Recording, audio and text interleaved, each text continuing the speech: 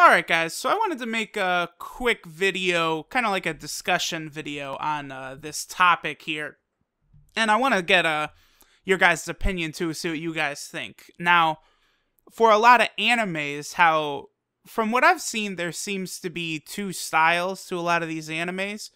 Uh, style A is, of course, you have like the Dragon Ball Z model, the Naruto, the One Piece, you know, basically an episode every week, you know, until infinity, until the show ends. And, you know, you'll get your here and there an episode uh like a week off, but then, you know, next ep- next week right back to the episode and yada yada yada. And then there's also the um the type B style, which I've been checking out a lot of animes recently, and I have to say, I think I might be a little more fond of, which is sort of the seasonal format. Like, uh, take for example, uh, JoJo, I think is probably the prime example of this. Now, JoJo is something I just recently got into, and in it, you know, JoJo is a long running shonen manga, very similar to, you know, like a like a Dragon Ball Z type whatever, where, you know, it's been the manga has been running forever and ever and ever. Actually, Dragon Ball Z might not be the best example more so like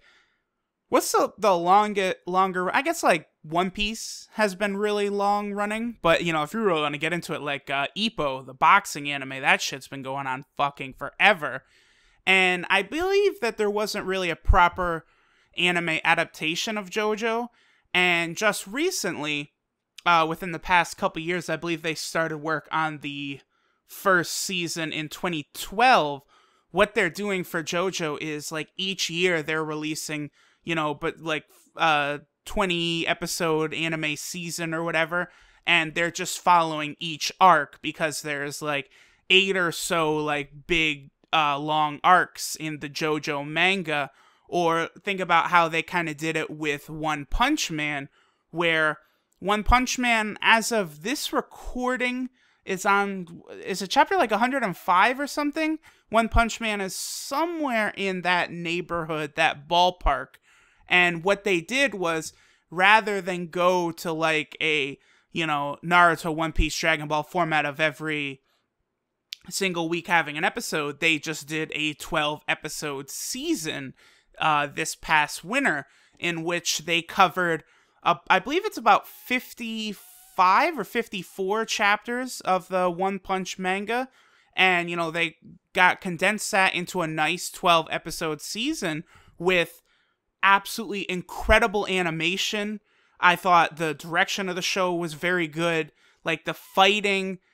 you know just the look of it the pacing of it is all just so top notch that's one reason why people are so in love with one punch man. You know that's some of the stuff i said in my review of it I, I think i am really enjoying kind of this seasonal format because the Japanese anime industry has this, you know, like slave labor type uh, reputation going on where, you know, they're struggling over there with, you know, low wages to get these episodes out every damn week and it's a real struggle for them. Whereas I think when they do something like this, which is where like once a year they condense it and get like a 12 or 26, you know, anime season, whatever out. Like the animation, there's no filler. It's just it's all top notch, and you can kind of take your time with it. I think that does do some of these animes more justice than the one episode every single week possibly could do.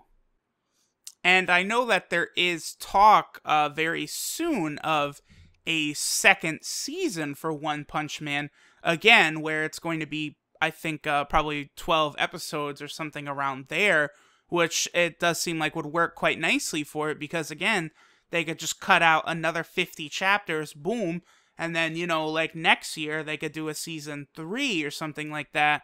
I, I you know what, it is just just the quality of the show. Like, you know, look at Dragon Ball Super cuz Naruto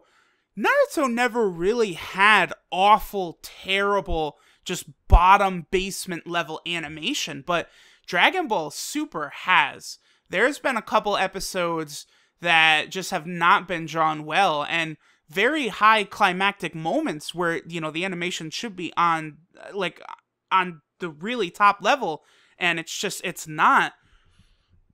like my friend and my friend Dion like it's funny when he was going through Naruto I was like oh okay what episode are you on? He's like oh I'm on you know season 3 episode 8 and I was like whoa whoa what, what are you talking there is no there's no seasons in Naruto. That's just you know an episode every fucking week. Like that that's been going the show's been running since what 2002 I believe? Like damn but whereas if I ask that question for someone who's watching like One Punch Man or JoJo or what's another seasonal anime, I think some of the newer newer Gundam series could count. I just I, my vote firmly, I'm gonna say, is that I do definitely prefer these because, uh, you know, going through these JoJo seasons for the first time, I'm just floored by the quality of it and you know it's taking a long time to come out since they're only doing you know one arc per year or whatever. Or i believe the last arc they actually split it into like two seasons and one came out 2014 i think the other came out at in uh, 2015 I, i'm gonna have to say i like that and i'm very excited for one punch man season two. Whereas you know naruto you know i've been following it along closely and you know we're I, don't want to say we're stuck in filler hell with Naruto because the fillers that they are on is actually really interesting and calling it filler I think doesn't do it justice because I think it's backstory that the uh, author uh, Kishimoto I think it's what he wanted to put in the manga but he might have been pressured or just decided to rush to the end of the manga and so some things he just sped by whereas I think this uh, you know, Sage of the Six Paths filler that they're on in Naruto right now is more of stuff that was supposed to be in the manga but wasn't, so now they're getting into it. So, you know, who knows what's going on with Naruto? That's just filler, filler always. The Infinite Tsukiyomi, they're on filler forever there. But, you know, that One Punch Man season two, there's not going to be a lot of, you know, there's no fucking filler. So, you guys tell me, what do you guys like better? The the kind of seasonal format or the one episode till infinity format?